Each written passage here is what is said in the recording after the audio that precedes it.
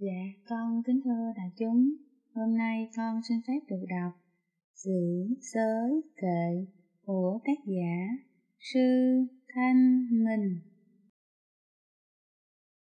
sử giới Giữ giới là nhân các hạnh lành, cội nguồn phúc lạc của quần sanh.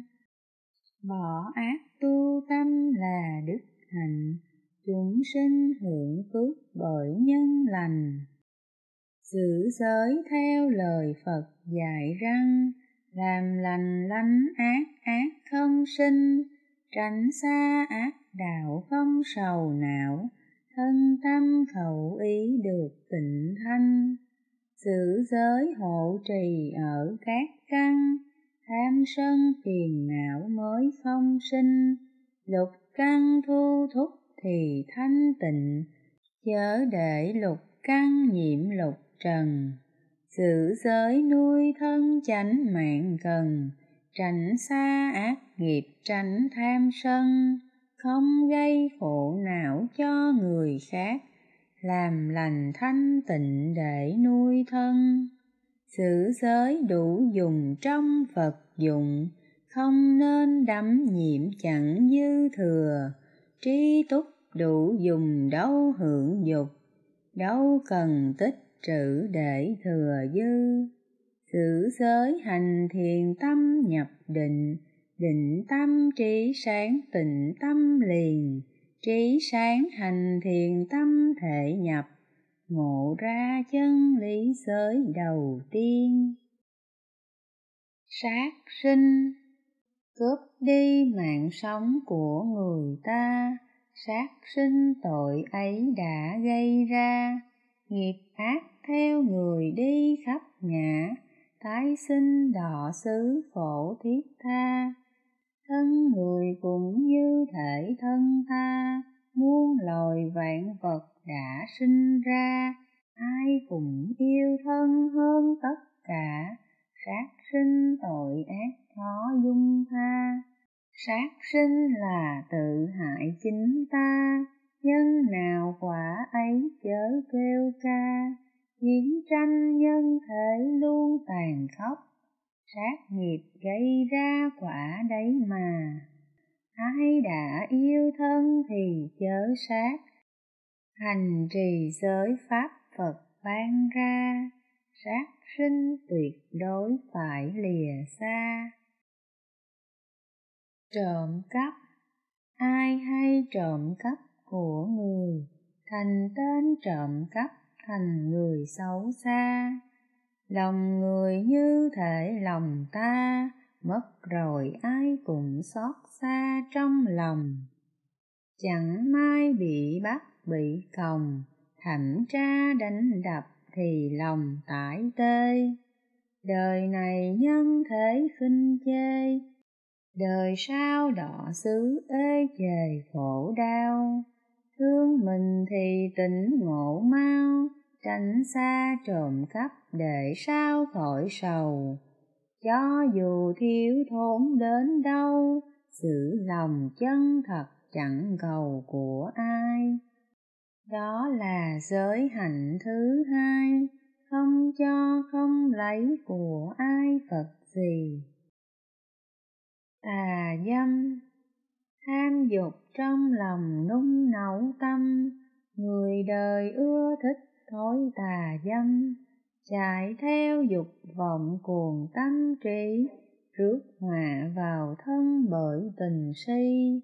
Thế gian chê trách thổi tà dâm, sự nghiệp tiêu tan bởi lỗi lầm, dục vọng chưa nguôi lòng khốn khổ, nhớ danh muôn thuở tiếng tà dâm.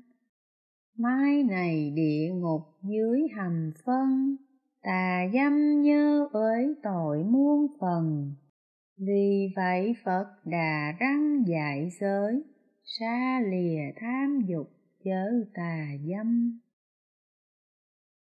Nói dối Nói lời dối trá gạt người ta, là thói sang tà thật xấu xa. Còn ai tin tưởng lời ngươi nữa, thế gian ai cũng thích thật thà. Nói dối người ta bởi thói tà sáng manh lừa đảo nói ba hoa. Ai ai cũng ghét người nói dối sự thật với bài vẽ xấu xa đời này không được lòng nhân thế, sau này đọ xứ dưới diêm la. Uống nước đồng sôi ăn sắc nóng, tại sao không sống hạnh thật thà? Vì vậy phật đà quy định giới, tránh xa nói dối, tránh sang tà. Uống rượu uống rượu và dùng các chất sai, các gì thuốc độc phải bỏ ngay. Say xưa chìm đắm mờ tâm trí, bê tha thối nát đã phơi bài. Rượu làm say xỉn với ba hoa, không còn hổ thẹn việc xấu xa. Cũng không sợ hãi điều tội lỗi như con giả thú sống trong nhà. Thân nhân khốn khổ sợ kêu la, chết rồi đọ lạc làm muôn thú, ngu xuẩn không phân biệt chánh tà. Vì vậy phật đà quy học giới, rượu và say xỉn tránh ra xa. Giới ăn phi thời không ăn vào lúc phi thời là không bận rộn suốt đời lo ăn. Tham ăn thân thể nhọc nhằn, tinh thần mụ mậm vì ăn suốt ngày. Còn đau tâm trí tỏ bày, hành trì giáo pháp suốt ngày lo ăn. Vì không đắm lụy vào ăn không chiều thân thể lo ăn suốt ngày. Phật đà khuyên dạy giới này, tu tâm thiệu dục phi thời không ăn. Múa hát. Đàn ca múa hát được chi, người ta thích thú cũng vì cái tâm. Mê say phóng vật ầm ầm tản tâm loạn ý không cầm được vui, làm cho ý thức chôn vùi, du dương điệu nhạc ham vui suốt ngày. Cũng là một thứ mê say, khiến cho tâm trí tung bay ngược trời. Người tu khác với người đời tĩnh tâm giải thoát phải rời hát ca những ngày trai giới phật đà, khuyến hàng phật tử hát ca chở màn trang điểm trang điểm phấn son ớt hương hoa, tô thêm vẻ đẹp cái thân ta. Cũng bởi thân này nhiều hôi thối, nên hồng che đậy ớt hương hoa. Càng yêu mến thân tham đắm càng sinh phiền não khổ muôn phần, già đau bệnh chết làm sao tránh? Trang điểm ít gì hương với hoa? Tỉnh dậy lo tu tịnh ngộ ra, thanh tâm tình ý mới là hoa.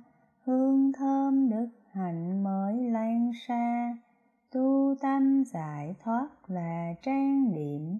Hương hoa già. Bát giới ngày trai phật tử tại gia, thọ trì tám giới phật đà dạy khuyên. Một là nguyện tránh sát sinh, hai không trộm cắp không rình của ai. Ba là tuyệt dục gái trai, bốn không nói dối lừa ai chuyện gì năm không uống rượu chất sai, sáu không ăn quả ngọ trai đúng thời, bảy không trang điểm hát ca, tám không nằm ngồi lộng lẫy cao sang, tám phần trai giới của hàng, tại gia cư sĩ nói đàn thánh nhân. Ngày đêm gìn giữ chuyên cần, nguyện mong phước phần giải thoát tự sinh. Mong cho tất cả hữu tình, thọ trì trai giới tự sinh thoát dần. Dạ con kính thưa đại chúng, con vừa đọc xong sự giới kệ của tác giả sư thanh mình con xin kính chúc đại chúng thân tâm thường an lạc.